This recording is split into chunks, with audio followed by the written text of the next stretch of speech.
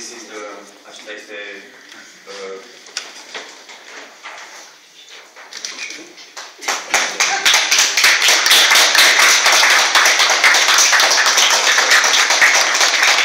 doar astăzi,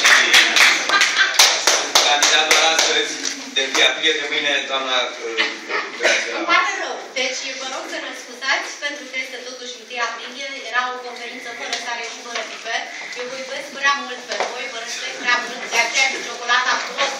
este pe masă întotdeauna. Respectul meu pentru tot ce înseamnă ploieștenii, ce înseamnă părinții și bunicii mei, am considerat că trebuie să facem și să începem această zisă campanie electorală într-un alt mod. În afara faptului că am aici lângă mine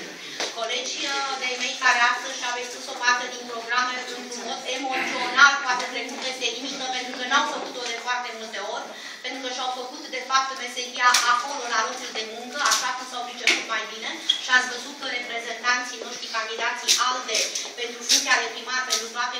toate orașele, au CV-uri impresionante, CV-uri de care să nu ne fie rușine, CV-uri pe care putem oricând să le punem la bătaie și pentru competiție, nu numai pentru funcție de primar, ci și pentru funcțiile de parlamentar,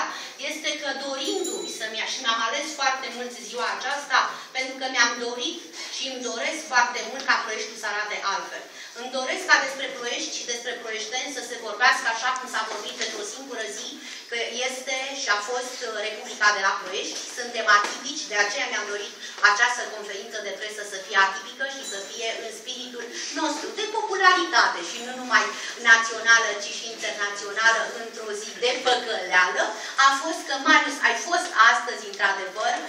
primar pentru, nu știu cât, ca să zic așa, candidat pentru funcția de primar din partea alte de 5 minute, dar Marius este actor,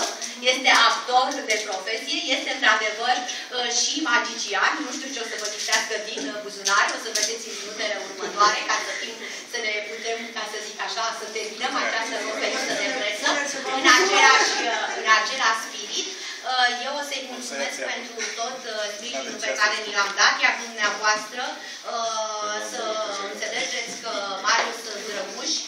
și toată echipa ALDE nu a râs de nimeni. Am vrut să mai ieșim un pic din starea de uh, presiune în care trăim.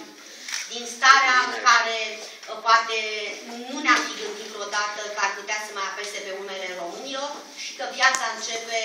de astăzi, că ea trebuie să continue, cu bunele și cu relele trebuie să arătăm că știm ce avem pentru de făcut pentru proieșteni.